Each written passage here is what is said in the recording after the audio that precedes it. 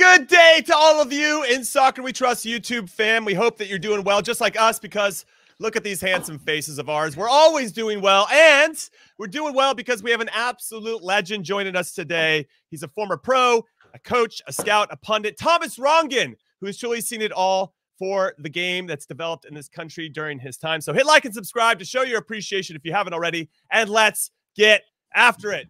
Yes. What is up, everybody? And welcome to Charlie Davies's limo driver's favorite podcast in soccer. We trust.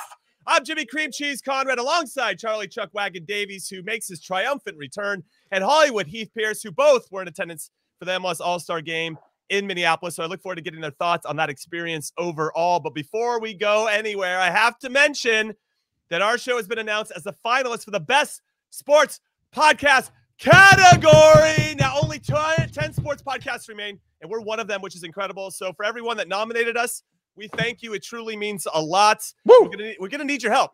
Uh, it? some, some of I you will feel be like we're getting nominated all the time. We are. It's Mm. like we can't even we can't even stop the nominations. And uh, we need your help because some of you will be selected at random to vote again. So check your inboxes because you'll be asked to cast a final ballot. And we want to add another trophy in our cabinet. So let's get after it. All right. What would uh Charlie? I'll actually come to you first. Let's go. What would what would meaning what would it what would it mean to you to win this podcast award? I mean, I would be flexing all over. I mean, the flexes would be all over the place. all over the place. We'd have to get like yeah, I feel like we should get championship T-shirts where we have big cartoon heads and stuff, and we can give them out. Like that's our new merch line if we win this. Mm, I feel like Blazers. Ooh, Yeah, like Mm, like a, like a Hall of Fame blazer. yes, absolutely. And, Mm. and What just color? What color? Rock them all over the place.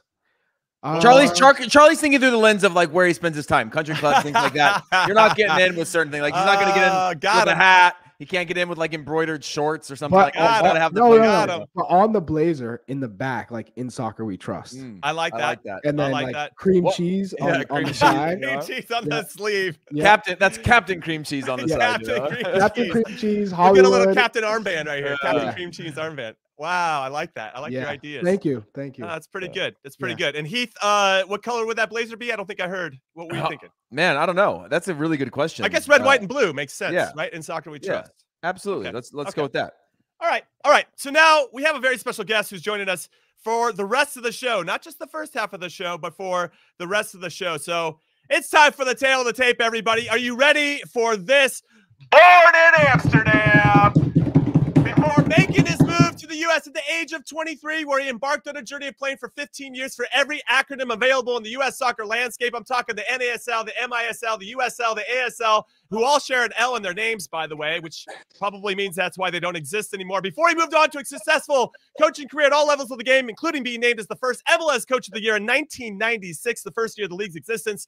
He's coached four MLS teams in his life, was an academy director at another. He's been a scout for the U.S. soccer forever, coached our U20 national team from the 2001 2005, and again from 2006 to 2011. And now he's our colleague at CBS Sports and a longtime friend with the best bow ties in the game. It's Thomas T.R. Rongen! Woo! Uh, Thomas, great to see you as always. Pretty Thomas- good, Tim. Great, great to see you as always. My neighbors think I'm absolutely batshit crazy, and you know what? I'm totally okay with that. So, TR, you coached in three MLS All Star games, and the All Star game happened last night between MLS and Liga MX. MLS won two to one. What did it mean for you as a coach to be a part of that event, uh, which is, uh, you know, one of the bigger events for MLS during their calendar season?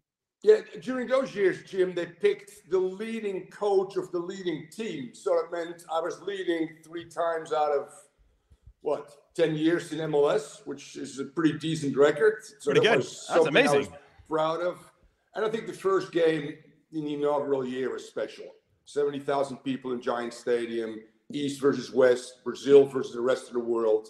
That was a, a real spectacle. But the East West uh, thing became really something that players didn't look forward to. So the addition of club teams, the addition of the Mexican national team the last two years has has changed dimensions. It made actually these games somewhat bearable to watch and with a level in, of intensity due to you know the rivalry between both countries and add to that next year's super league or world cup style play between mexican teams and us teams i thought uh, the last two years looked like more real games than the early years where nobody wanted to get injured.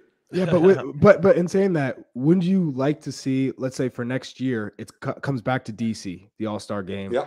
You got to be a part of it. Obviously, you, you coach DC United. Wouldn't you? Don't you think there's enough quality at this point to go back to East and West, and that if with the right mentality, that this game could speak for itself. Well, no doubt, Charlie. Uh, If we're talking about the first three, was through 99, 96, so four years, um, we had 12 teams. So it pretty much was, um, you know, half of DC United, half of the Tampa Bay Mutiny will be on the, on the West. right. And then Jimmy's team will be the. the Not that all. That was the part of 96.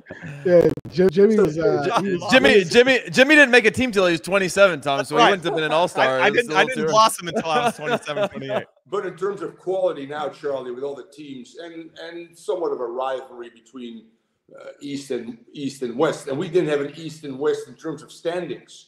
We just said, okay, anybody uh, west of the uh, what is it, Dixon Macy line is West, and anybody you know to the other side of uh, Kansas City is East. Uh, but no, there's some merit to that. Again, I think uh, going forward. That's fair. That's fair. And it's the it's the Mason Dixie. You had it a little bit backwards. Oh, there, Mason you were Dixie, close. there yeah. you go. He fierce. Yeah, you know, Yeah. but uh, I want to. We're gonna Yeah, let you. you We're, we're gonna let you slide. Why, why do you have to? Why do you have to call him out? Yeah. Because What- somebody, I, let it be. listen, because I've been on the internet long enough to know that if I don't address it now, somebody else will address it, and it can uh, turn into a, uh, a a wildfire. Now, Thomas, you're one of the few people that's coached ac- across generations, across levels within the U.S. landscape, and we hear from everybody about the quality now versus the quality then, the quality of the American player now versus then. You've coached at the youth national team level. You've been involved at all all national team levels. Is are you seeing something different? Are you seeing another generation that that that we should be buying into the hype of the quality of the player that's coming up, or is it still pretty relative and it's yet to be yet to be seen what level of player we're capable of producing in the short term? No, I, think I think there's merit to both. Uh, uh, quite frankly, we've got quite a large group of young players that went clearly too early that really haven't haven't done well. Some that are returning. There's a handful that, that have excelled. Uh, no, no doubt about it. Will continue to excel as well. I, I think from let's say the start of MLS in 1996 till now, we've made tremendous strides. And I I use a term called TIPS, which is Ajax related: technique, insight, personality, and speed. And in all of those, we're we're not optimal technically yet, but I think we're a lot better. You know, the quality of technical players is a lot better. In terms of game awareness and decision makers making, uh, we're, we're a lot further as well, both domestically and, and, and internationally. We see more players with courage, initiative. The P stands for personality. And then obviously the S of tips stands for speed, both physical, where we've always excelled and continue to excel, and and and mental speed as well. And that goes back to you know making the right decisions under duress, under real pressure, in not a lot of time and and, and space. And I think that's where we've made a, a lot of progress, quite frankly, and we'll continue to do so. Uh, I think the under 20s are, are a great example, uh, not just how they play, but how they ran away with it. Uh, and if you look at the Olympics, which is what uh, one is 201 birth year, the other one is 203, you could feel that, you know, I think the Olympic squads are only 18, but you could feel, you know, um, the, the list goes on and on of, of, of players, obviously, that, that, that, that aren't there. Uh, Tolkin, uh, Konrad de uh, Tillman, Cole Bassett, uh, Ben Bender, which is here, by the way, Tanner Tessman, and the list goes on and on of players that can play, by the way, since 16 years that has been in the Olympics. And we all know what 2000, in particular for Landon, Bees, Bobby Convey did in 208. That was the last time we went. That was the group with uh, with Jozy, with Stuart Holden, with Brad Guzan, with uh, Yeah. a few guys from Let's my just let's just stop it there. team as well. So we're, we're going to continue to gain experiences at the highest level. Thank God, due to the Olympics as well, which is much needed. Thomas, I'm curious. You talked about some of the under 20s. You had some of the most successful under 20s in, in the World Cup. The 2003 team that made it to the corners. I also think of that U20 team with Robbie Rogers, Danny Szetela, Freddie Adu in Canada. I think about the 2003s, by the way, Charlie, because Thomas cut me uh, from that. Oh. So uh, I think about that a lot. But- uh, but- but we'll get back to that in a little but- bit. but You just many weren't good enough, players- Heath. Just accept it. I, I, I just he wanted took- to tell he me took that. Johnny. He took Johnny Bornstein over you. No, no, no. That was, No. that was, uh, No, that's Bob's boy. That was, that Way was, to that- go. that- that was Bob. Yeah. um, how many of those players do you think would be in Europe if if they were playing today? When I, when you're comparing the young player now and and the young player back then, because it seems to me that th- those players were top at at that time, and if if they had the same respect that the world has for young Americans, I, I feel like more of those players would be playing in, in That, that's always been an interesting question. You can arguably say that Bruce Arena's team in 202 in Japan and Korea should have gone to the semifinals. Let's be real honest. The, Yes. the, the handball by, by Germany. And that was a team with Tony Sanneh playing as a right back. I think it was Eddie Pope, the young Landon Donovan, and some other guys that didn't know any better. Their first World Cup, they were just excited. You could say that starting 11 is as good as our current starting 11, might even have more in terms of, you know, the right mentality. In, in, in saying that, um, I think this, this current group um, is clearly one of the most talented we've, we've seen and the youngest team in the next World Cup as well by, by far. Um, and within that, you have guys that play for Chelsea, Juventus, and you guys all know the list, obviously, that you you probably have debated uh, here as well. Um, Who are who are the some of those one, players? On those, who are some of those players And- on those teams in, in your what- mind? what- what is great, Heath and, and you as examples. Heath, I had to cut, and it was a tough one, and Heath know, knows that. Uh, but I thought I was doing the right thing with Anthony Wallace, and and I had another option there. Heath, I can't remember. That was the 203 team, correct? No, Anthony Wallace, I think was was was after that. You had we had uh Oh, Jordan Zach, Harvey. we had Jordan Harvey, Jordan Harvey. Whitbread, we had um Shafiq Simo coming through correct. um before his accident. Oh, There he, was- Heath it was a knows all the names, Thomas. Don't you Yeah, worry. yeah. He's got him on. A, he's got it on a bulletin board. Uh, yeah, yeah, yeah, yeah. No, and, and there was initially a fight uh, between three to make two, basically, because you could be too deep in every position almost if you, you know, bring 24, 26 players.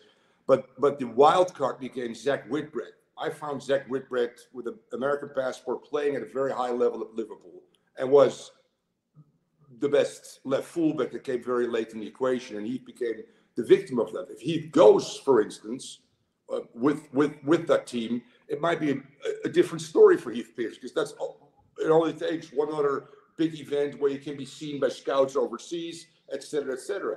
Charlie, which would have started for my 205 uh, team in the World Cup, but I became the head coach of Chivas and Sigi Schmid took over, Mhm. bless his heart, didn't deem Charlie to be the right player mentally, whatever it might be. And I saw in Charlie a very talented player at that time with so much more upside, just as I saw with Clint Dempsey in 203 that didn't play a lot of minutes for the under 20s as well. I recommended to uh, the New England Revolution to take a flyer on him. It was back then Project 40. So crazy how those pathways go.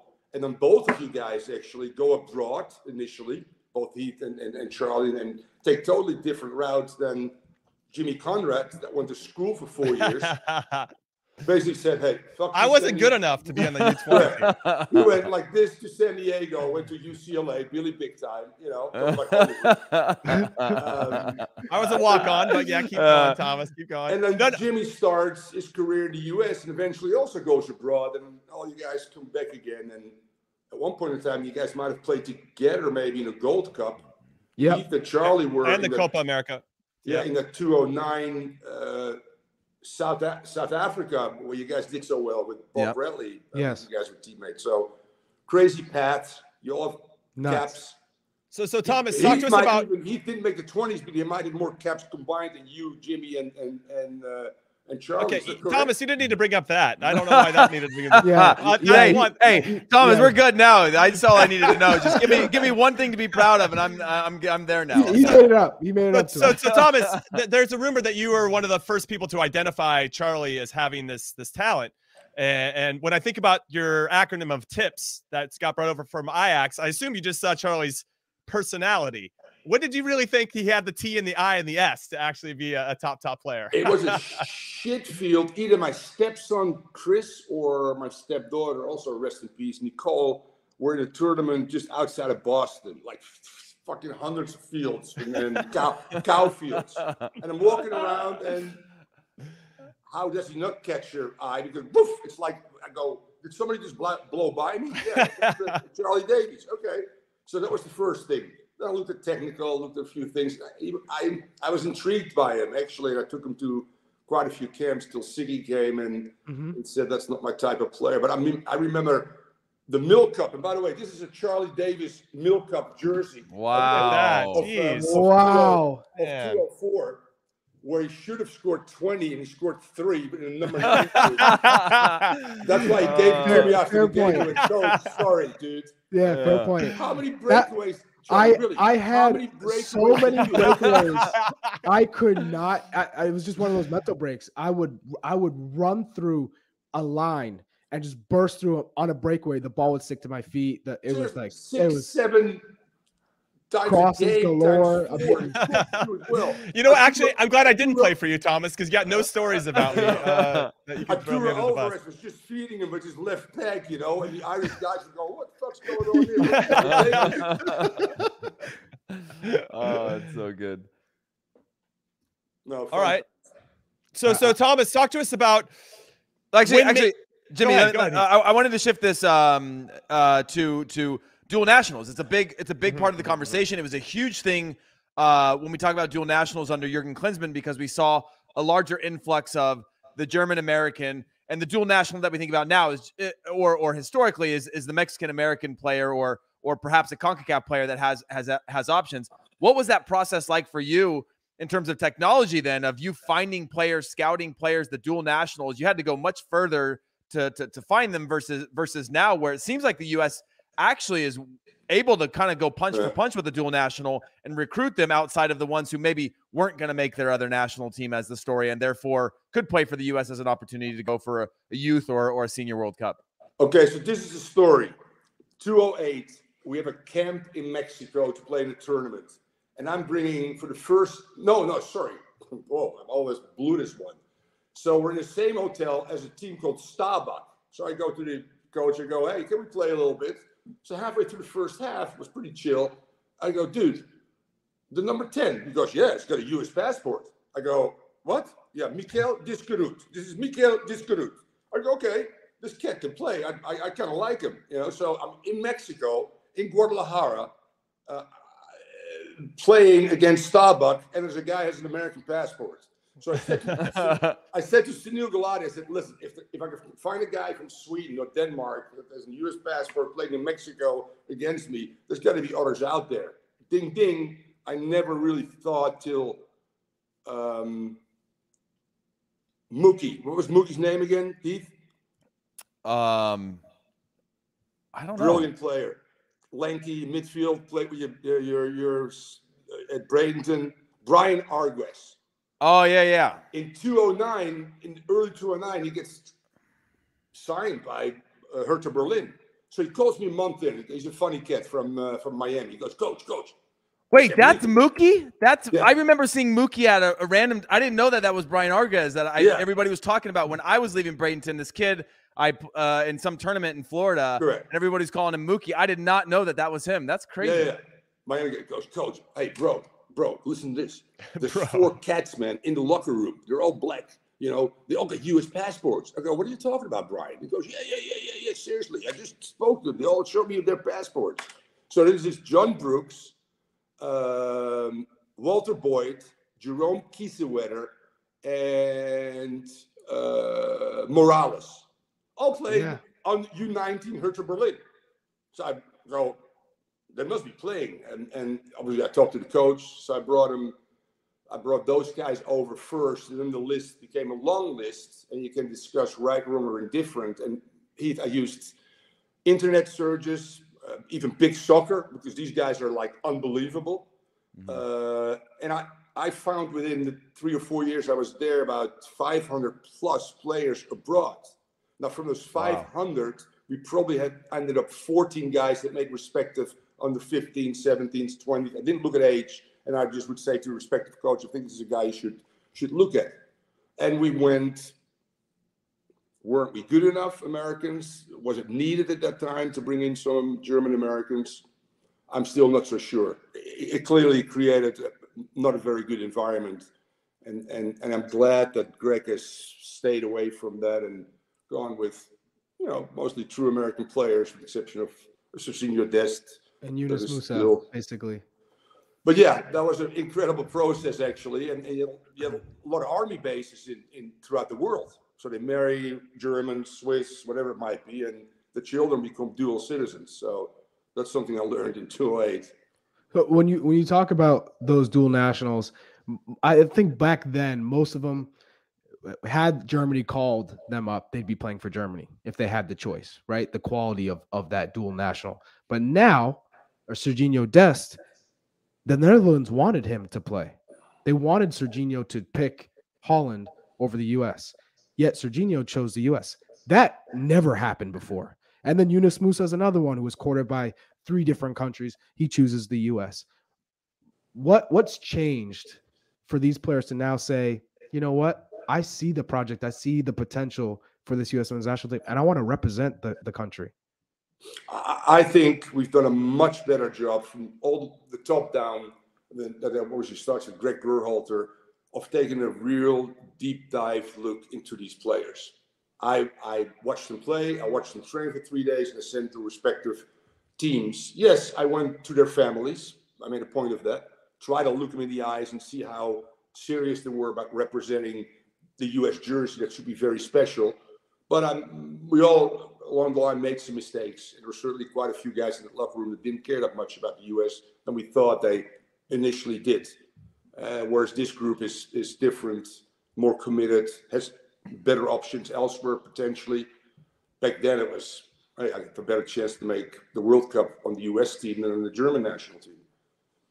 So Thomas, I, I'm kind of curious because as a scout, there's going to be hits and there's going to be misses, and I know one that's attached to your name from a miss standpoint is Neven Subotic, uh, who was part of Borussia Dortmund, and he was part of our residency camp at the U17s. You left him off the U20 roster, and I think he took that very personally, and then ultimately played for Serbia's national team.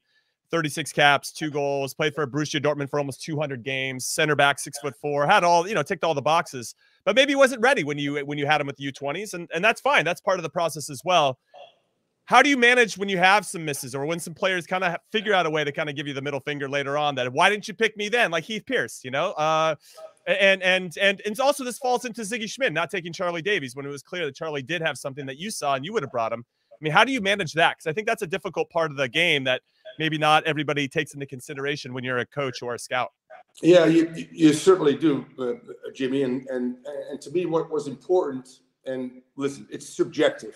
Hmm I've made mistakes, no no doubt about it. I look back, even even Heath is, I think, a good example. You know, that really carved out a pretty darn good career. Still ends up playing for our, our senior team. I could have probably done better there, uh, and would have the other 20 experience, which is really qualifying in the World Cup. Talk about eight meaningful games, maybe could that have helped in in, in his development? No doubt. Well, we had the, it. we had the delay as well in that World Cup. Remember, it was postponed Yeah, um, for six months. I had to take a semester off of school. That was a really unique experience being out of school, but training between camps, just sitting in Bradenton, trying to get on with uh, with MLS teams when they came through town and things like that. It was a really unique unique period. Uh, I remember that.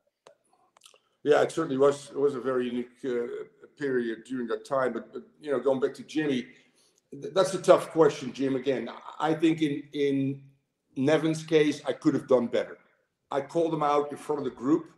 I thought he was ready for it because he always portrayed himself to be a, very tough guy.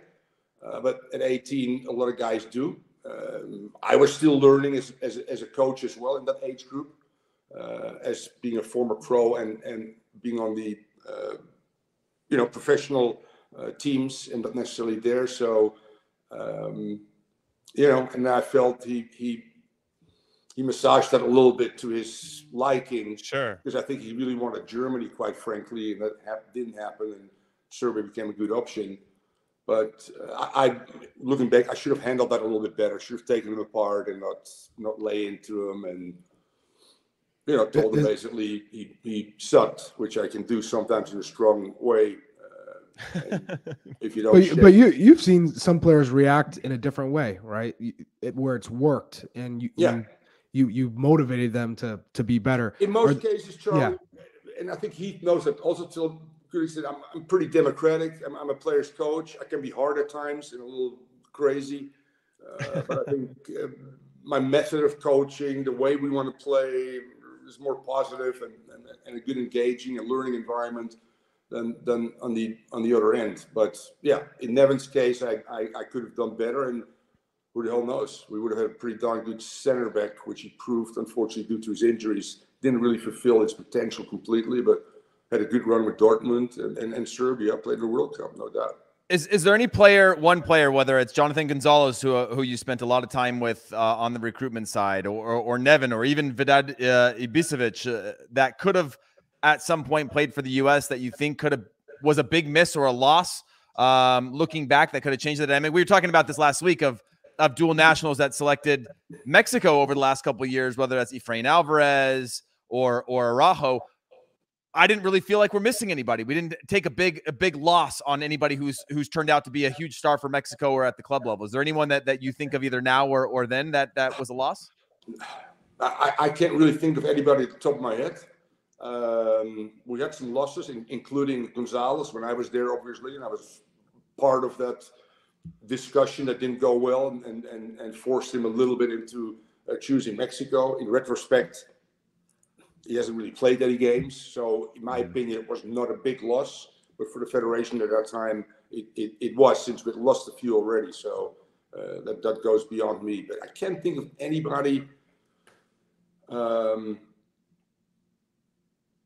I just can't of anybody right now that we maybe missed and that later just came on our, our radar that we all went like, really? You know, from Montana or uh, New Mexico? I don't think uh, Heath, no, I don't think so. In terms of, of players you've coached at the youth level, who do you think had the biggest potential but just didn't live up to it? Is it is it clearly Freddie Adu, or there are there some other players that you thought, man, back then I really thought you'd be playing in Champions yeah. League and and in the top clubs? And, and, Thomas, Thomas, before you answer that, give give some context to somebody like Clint Dempsey as well, who I was in camp with when you brought him in, local kid in Houston, and sort of that trajectory to kind of paint that picture a little bit for us that that that may have missed. He was one that was a hit on his last sort of like last opportunity there. Correct. No, yeah, absolutely right. I mean, you go through a tedious process, and back then, I mean, my 203 team had three pros on it, predominantly college. 205 Charlie, probably half and half. And then all of a sudden, you look at this current under 20 team. They're not only pros, but most of them are in Europe. Um, you know, which is which is pretty remarkable how far we've we've we've come. Um, Two best center backs I've ever coached at 16, 17, 18, 3. John, Jonathan Brooks, number one. Chad Marshall, number two. Neven Subotic, number three. Best holding midfielder, probably Michael Bradley. Best eight, Denny Szetela. Denny Szetela was unbelievable. he was nasty. It's but so, so, yeah, so good. What a shame, you know, that he could that he couldn't get his private life uh, sorted out. Another guy wasted talent, Santino Quaranta.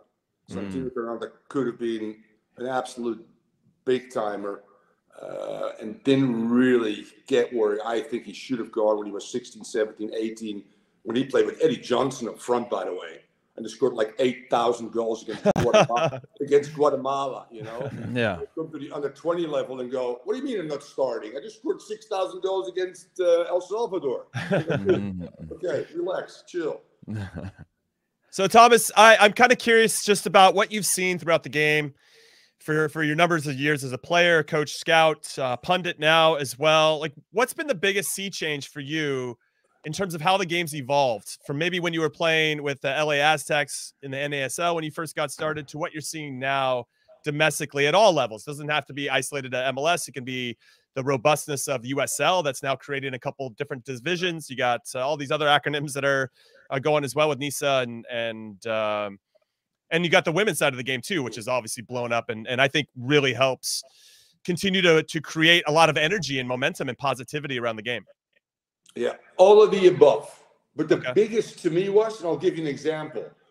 Um, 1980, we're playing away against the Cosmos, 70,000 people. LA Aztecs, Johan Cruyff against Beckenbauer and all the big boys with Warner Brothers and Communications, the Cosmos in Giant Stadium. It's it's 1 1. I'm marking Beckenbauer and I'm a nobody in a corner. He speaks fluent German. Most Dutch speak German. So he goes to Johan Cruyff and goes, Hey, nicht das Spiel, uh, nach uh, 90 Minuten. Eh? So basically said, if we don't go to overtime, we don't go to overtime, we got to go downtown Studio 54. So I'm going, whatever. Yeah, I've never heard of it, whatever. So Cruyff plays a through ball. Beckenbauer stumbles a little bit. Whoop, 2 1. And Cruyff goes to me, hurry up, let's go to the shower. So I get in the limo and I'm looking up and sitting next to Mick Jagger. So it's Mick, Mick Jagger, Kevin Keegan, the Stones, Beckenbauer, Cruyff, and myself. We're taking off to uh, to Manhattan. And there's a pile of well, whatever. You know, it's really it's an intriguing, uh, limo. It's an intriguing limo ride. So we go into a, a garage basically, but it's an elevator, and we're taking it up. And this limo is like 20 feet long. So we're going up. It's a studio, and Mick Jagger goes to me, "What's your favorite song?" I go, "Dude, Sympathy for the Devil." He goes, "Okay, I'll play it for you." These, these cats are playing for me, but Cruyff, although a, a smoker, was not didn't like any other chemicals that were around us at that time. So he says, "We got to go." So now I'm in a limo with Beckenbauer and Cruyff and myself, and I'm walking in, and Liza Minnelli get pushed out of the way, so Thomas Rongen can walk into Studio 54. going, this is pretty uh, cool.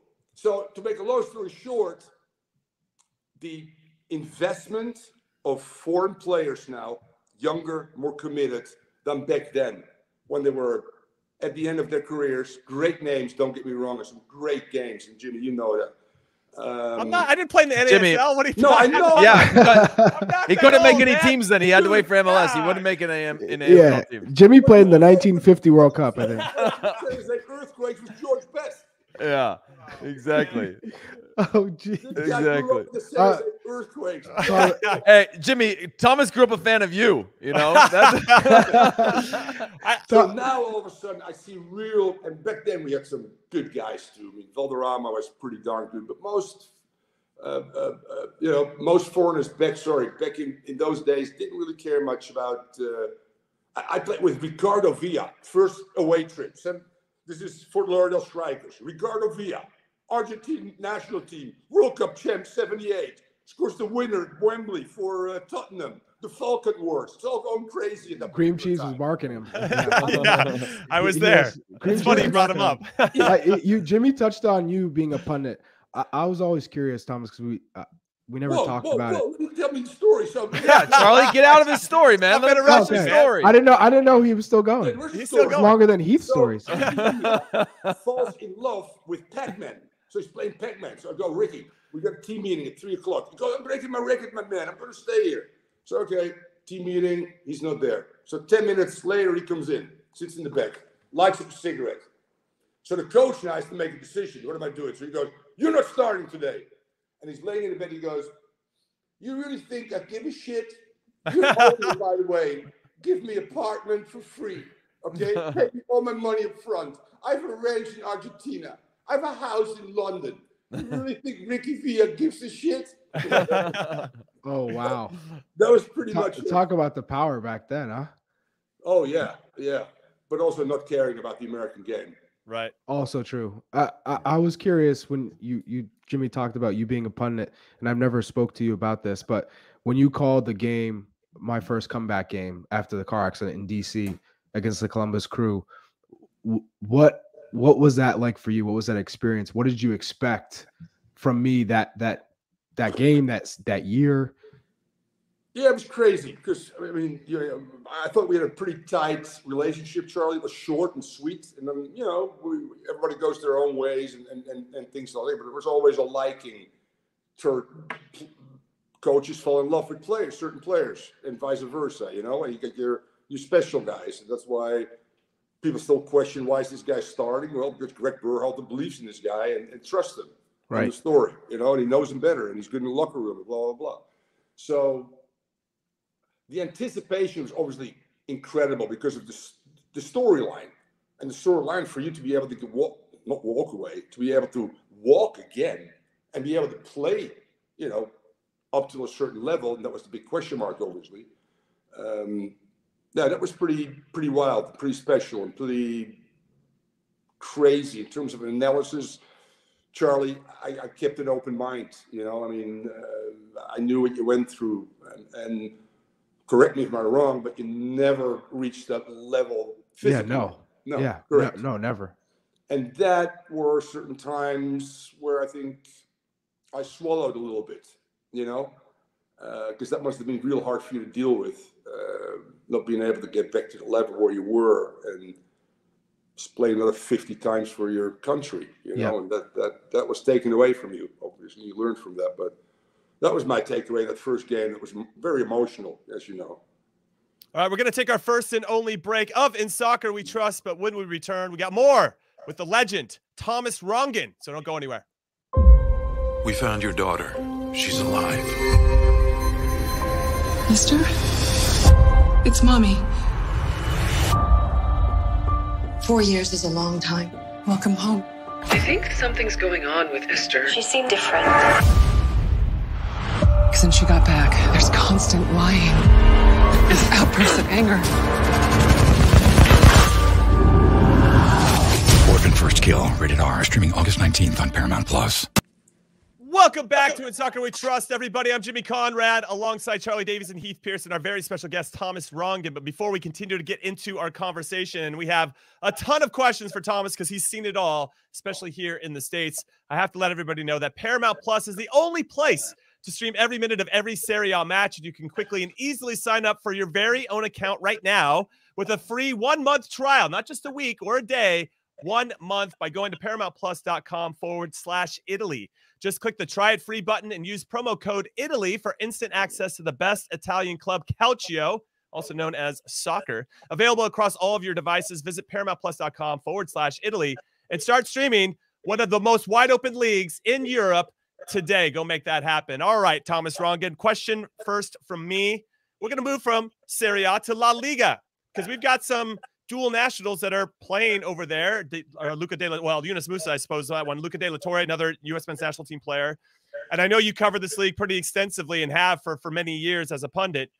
What are you expecting from La Liga this season? Because it feels like a two horse race as always. With all due respect to my Atletico Madrid, who I support, and I don't know if they've got it in them this time. Maybe they do, but last year was a bit of a dumpster fire. The defense was in shambles. But what are you thinking about La Liga? And then and then the emergence of Yunus Musah? because it looks like they're finally starting to put him more centrally than out wide. Yeah, and, and that's brilliant for his development. Gattuso has pretty much come out and said, "I want you to play centrally." And let's be real honest, only the big time players play centrally. In particular, you know, for a team like Valencia uh, that won't fight for first or second. It's a two horse race, and right now, after the way Real Madrid dismantled uh, Frankfurt, I would bet against them to do win La Liga and and and the Champions League again. You know, I mean, amazing. Um, but Musah is, is is key for them, and Musah is key uh, for our U.S. men's national team. I, I, if I had to pick my eleven, he would. Be Ooh, let's hear those, it. Let's hear your those, eleven, Thomas. Don't go. No, no, you can't tease us like that and not give it to us. What's your 11? Yeah, no. So let's say you're the coach. All right, Thomas, Zack, Steffen, or Matt Turner, who starts in goal for you? Matt Turner. Matt Turner. Now, center back, Zimmerman, Long, Richards, Cameron Carter Vickers. Who's your pair? Well, he, I think he's going to say John Brooks if I had to jump in just because of his experience. Stop John it. Brooks. I'm just John saying. Brooks, John Okay, Brooks just sat. He just went.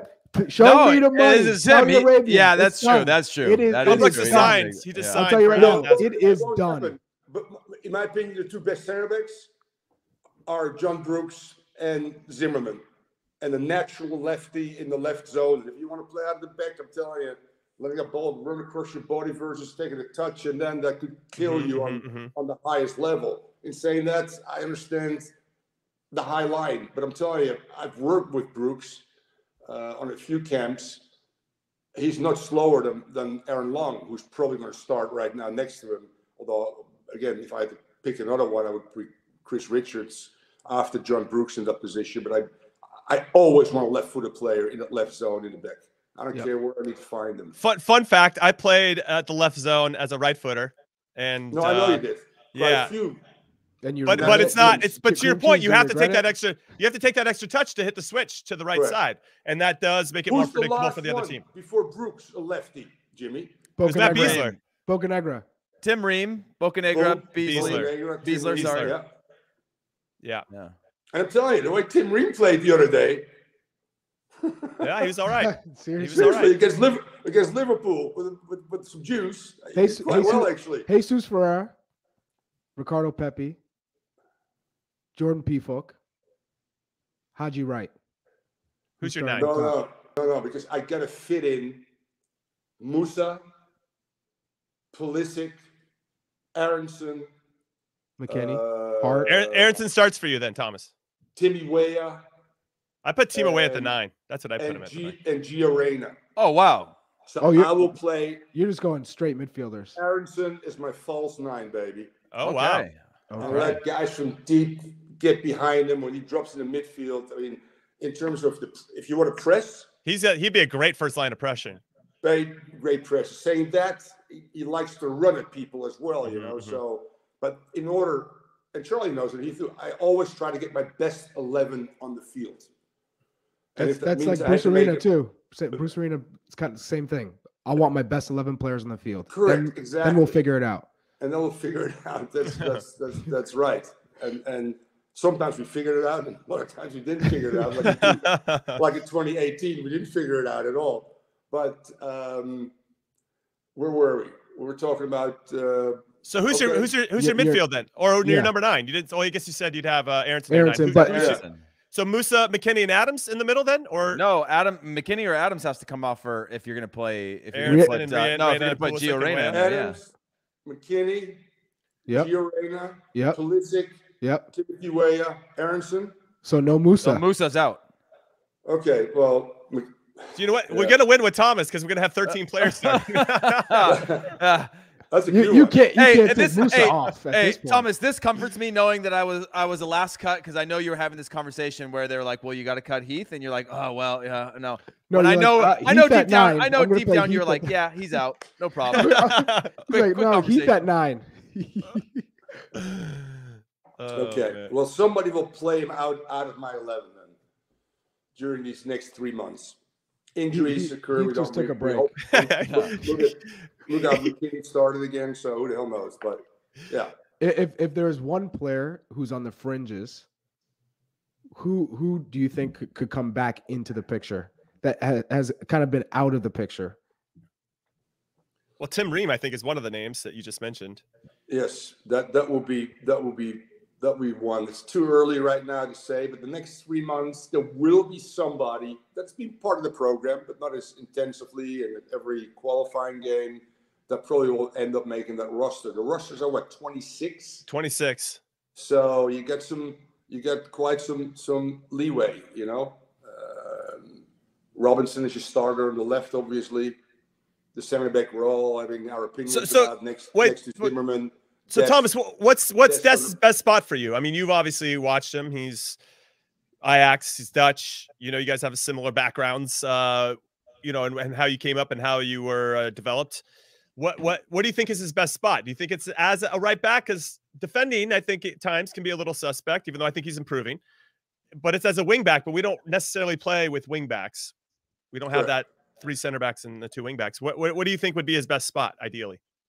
That would be his best spot. If he, if he would have played for the Netherlands out of Louis van Gaal's 3-5-2 now, he would have Mhm. played on the right side. So I'm, I'm only kidding because there's somebody that plays for Inter Milan that's a little bit better still than him. I, I've never really rated him, to be real honest with Wow. you. Um, first and foremost, defensively, he's a liability, I think. It could cost you a game. Um, he has to fight for his starting position. Thank God they're not very. They've bought everywhere else, but not necessarily the right back. So it's again, you know, uh, Roberto, um, you know, whoever got Araujo can maybe fit in there. Yeah. So you could potentially start for that team and with the way they play and always on behalf of the opponent, it's, it's a little bit of a different story because his starting points can be higher. He doesn't have to defend that, that much, quite frankly. And when he has to defend, it's just a straight screw it back in transition. But Right. When we play against equal teams that will possess the ball a little bit as well, let's say it's 50 50, they're going to force us backwards. And now you got to make decisions in 2v1, 1v1 situations. And every time I look at him, I'm going, he's not really aware of his surroundings that Mhm, much. mhm. Mm. Is there So- anybody better out there? Yeah, would you would you play Yedlin? Because Yedlin right now, I think, is playing arguably the best of his career. He seems super happy. He's in tune with the, with himself. I think his service has gotten better. I think he, Yeah. he can change his pace uh, uh, more often. Would you consider? Charlie, were you hanging Yed- out with him last night or something? Yeah, I, yeah. I mean, you're, thro- you're No, talking a lot. I, I'm just, I'm, just I. I watch I watch him play. You know, I, I think Inter Miami he, he's done really well uh, over the past couple of months with Yeah. Inter Miami. So if you're he's played in England, he's played against Harry Kane, he's played with Harry Kane. Would you consider playing him against England, or would you play a Dest regardless of who you're playing against because he gives you so much on the attacking side of the ball? Uh, well, I think that Gregg will look at opponents, but what I've seen of him, he's pretty much in going out and say, "This is the way I want to play first and foremost," and let the other team adapt, uh, which is I kind of like actually. Uh, but you got to be adaptive in a World Cup in a one-off game, and you might have to make a change tactically. Let's say it's Foden or Grealish on that side. Uh, that will probably, although Dest has got great physical speed, he doesn't have great mental speed. So I don't care how fast you are over five yards, those guys potentially off the dribble could could take him on. Whereas Yedlin, and I call every Inter Miami game on radio, has been pretty darn good on both sides of the ball. And, and you're right, improved in. In Heath, what I tell Dramatic. you, And, bro? and listen, he, he, well, he'd be the only player with World Cup experience as well with DeAndre Correct. Yedlin, and I think that does have some value too, Thomas. Yeah, no, no doubt. Jimmy, you know that every group had, had their four or five elder statesmen, and we're talking about elder statesmen, still quite young, you know, uh, Mhm, but an mhm. experienced guy that's great in the locker room, even if he doesn't start, uh, which is, you know, that's probably will still be the starter. You need guys like that, no doubt, not about W- it. Would would you start Christian Pulisic regardless? Let's say he doesn't play that much with Chelsea. Yeah, that's a hypothetical. I I, Yeah. I still say um, it it will all depend on. Um, I, I still feel an informed Aaronson, an inf- on the left, an informed Timmy Weah versus not informed or not have played Pulisic. I would sit Pulisic. Right. Mm. Oh wow.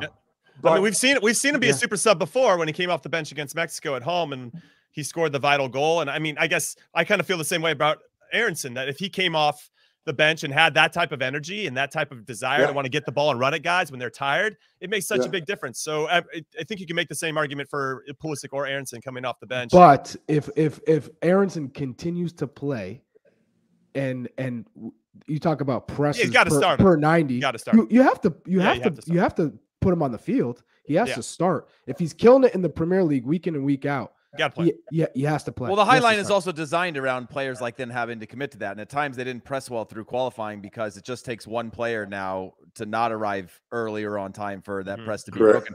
Thomas, my, my thing for you is you, you talked about Sergiño Dest and not necessarily rating him as a complete player, which I fully agree with. Uh, goes basically one season at Ajax and then becomes the hype and then goes to Barcelona. Ajax knows that they, they need to move him on and, and, and capitalize on that value. He's now in a situation, and this is also Pulisic, where we talk about, yeah, but if Dest doesn't play at Barcelona, where can he go and actually be successful? Because he does need to be in a situation where you're dictating play and in you know starting high on the field in, in in positive positions as opposed to being a little bit more of a two way defender. For someone like him or someone like Pulisic, where could they go next if not in situations like this that they can continue to de- develop or, or or be challenged? He, he's actually been in, in, in four years of incredible environments with two teams, Ajax and Barcelona, that play very similar.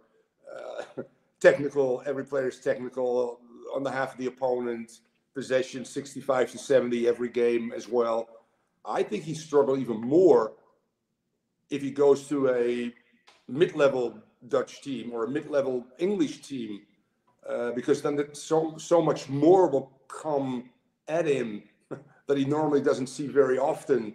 That's faces in midfield on both sides of the ball where he normally doesn't end up. It's either bumming forward or not and staying high and working transition. All of a sudden, he's going to make some real, real decisions and, and follow a, a tactical plan that might be not suited. So he's probably with the best club that he can be right now. If you look at Savi, obviously, he made what 21 appearances, uh, and that was 17 starts.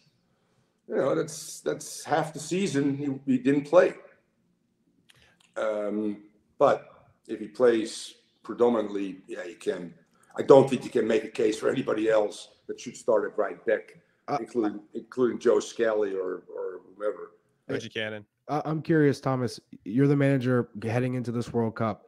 What does it look like from a tactics standpoint as you play against Wales in that first game? You play against England in the second game and Iran in the third game.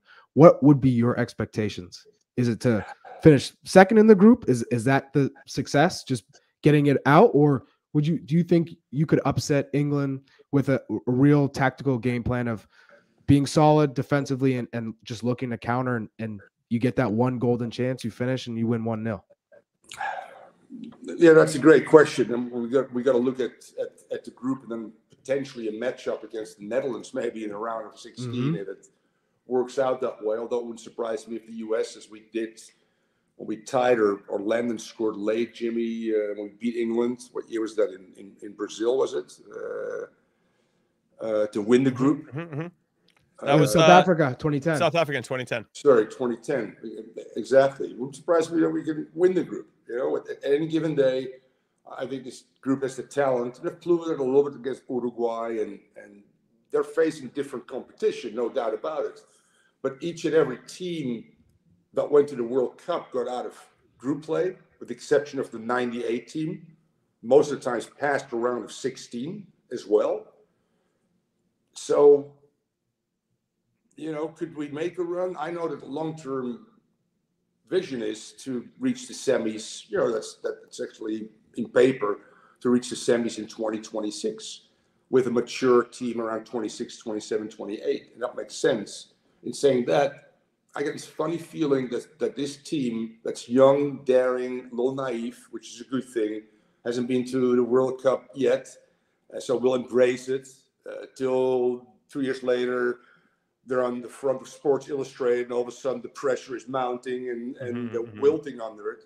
It wouldn't surprise me if this team actually can make a run, quite frankly, and, and has Mhm. the ability and and the players to do it, and the coach as well. I, I'm I'm a big Berhalter fan, actually.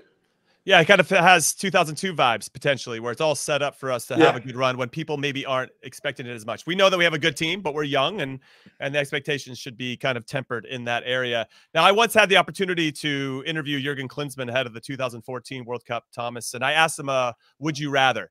And the "Would you rather" question was, "Would you rather, when we're in Brazil, play extremely well in our group?"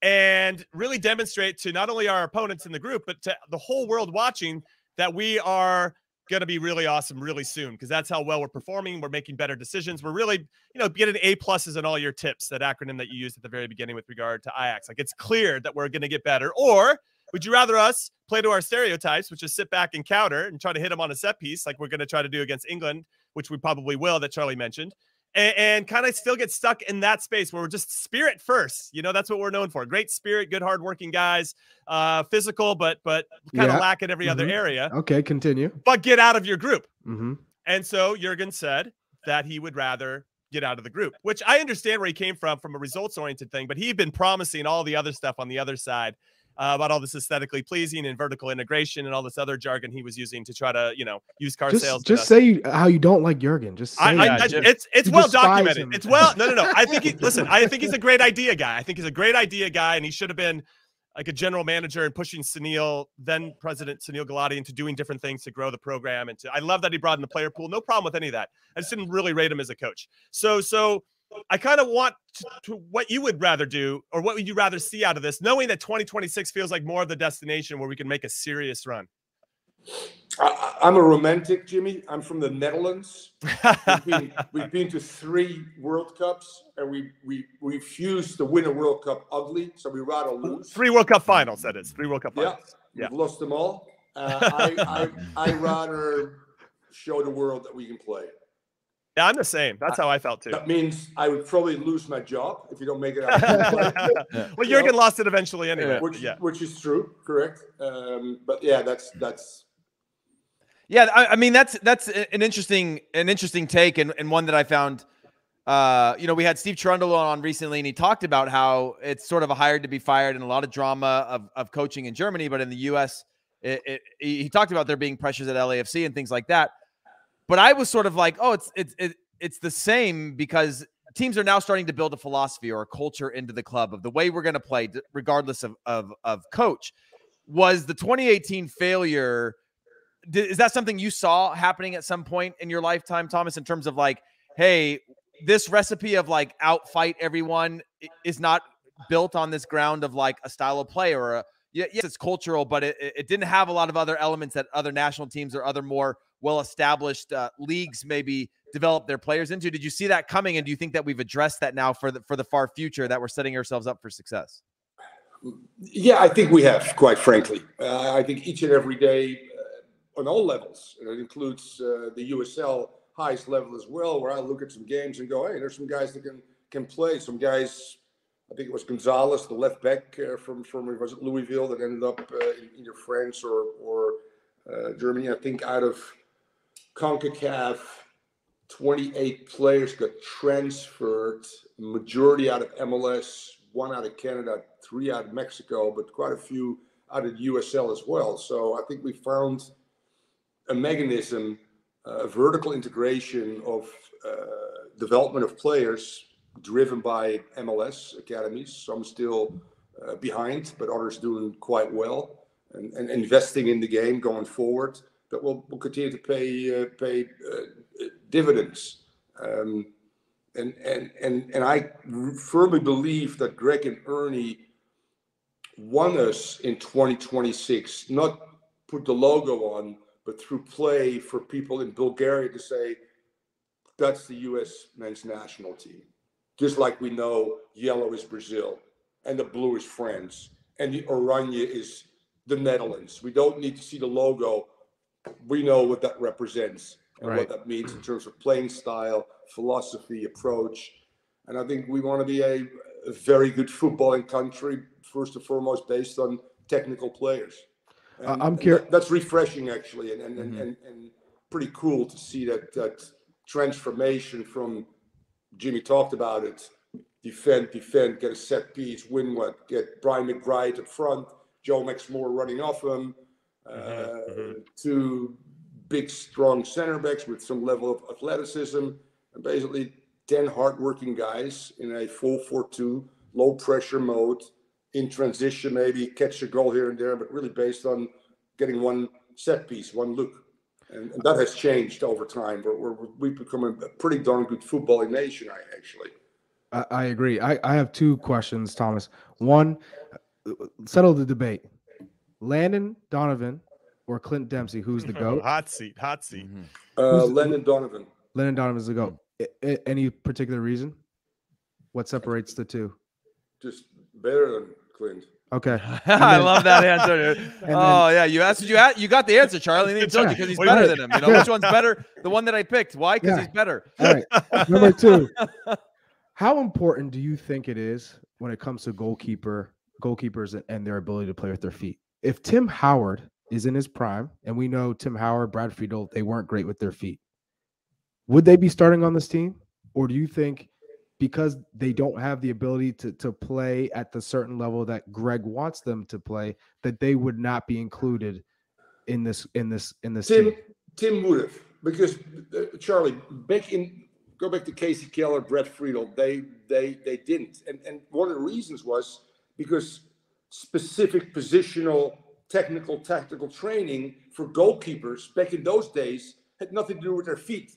Mm-hmm, mm-hmm. Because they could pick up balls, they could play back to him first and foremost. So they could just fucking, you know, that's how he wasted time. Played back to the keeper, played back to the keeper, played back to the keeper, and he could eventually punt it upfield or, or, or throw it. So now the revolution of starting really in 74 with Clockwork Orange and the Dutch national team, where one of the, our best goalkeeper in the country did not start a game because Rinus Michels, Johan Cruyff, and the Ajax revolution wanted a footballing player because we're going to play on half the opponent. So the only time they're going to catch us is in the counter. We need a guy that can play outside of his 18 yard box with his feet.